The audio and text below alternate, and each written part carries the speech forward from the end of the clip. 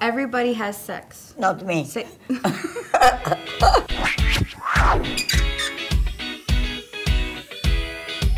When you come to a sex shop, Don't deep throat a dildo. No kissing, no touchy touchy. Save that for tonight. Spank each other. Not around us, because we didn't give you consent and we don't want to see it. People should act like an adult in an adult store. save the shenanigans for your home. We love you. We love the fact that you want to buy all this stuff and that you're so excited to try it, but try it at home.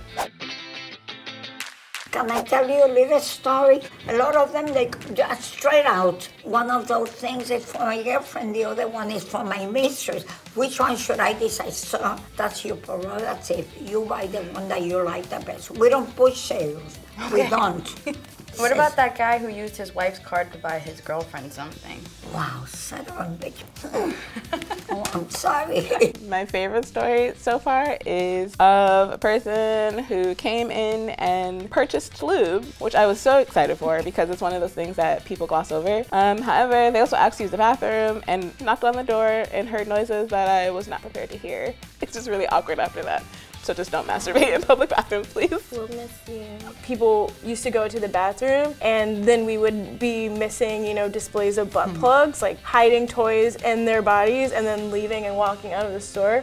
Like A plus for effort, I guess, but uh, F minus on the fact that it's a display toy. I don't want to shame anybody, but everybody in New York touches our toys. You're gonna want a clean one before you do that anyway. And lubricant. I'm sure they didn't do it with lube. Everybody is different, everybody's body is different, so it's good to go to stores because you can get educated, you can see and feel things. It's different from looking online because it could look like it's this small and then in person it's like so big. Pro tip testing the vibrators on your nose will be similar to the nerve sensitivity of like your other bits. Don't feel ashamed. Nobody's gonna judge you. And even if there's customers in there, they're in there too, so they're not gonna judge you because they're in there too. Just feel like calm and ease. Like, we're here for you. What do you wanna buy? We have the best toys anybody can dream from. Little ones, big ones. You go through that door and you go into paradise. You get, oh,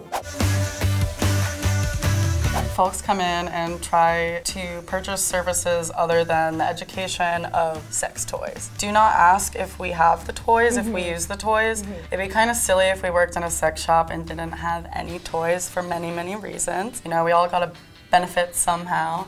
You know, ask questions respectfully. Don't ask me what my favorite thing is because I guarantee we're not on the same wavelength. Mm-hmm. We may know that you are looking for a butt plug, but I don't know your last name, so let's keep it there.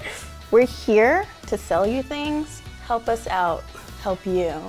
Find out what you want, because we just met you.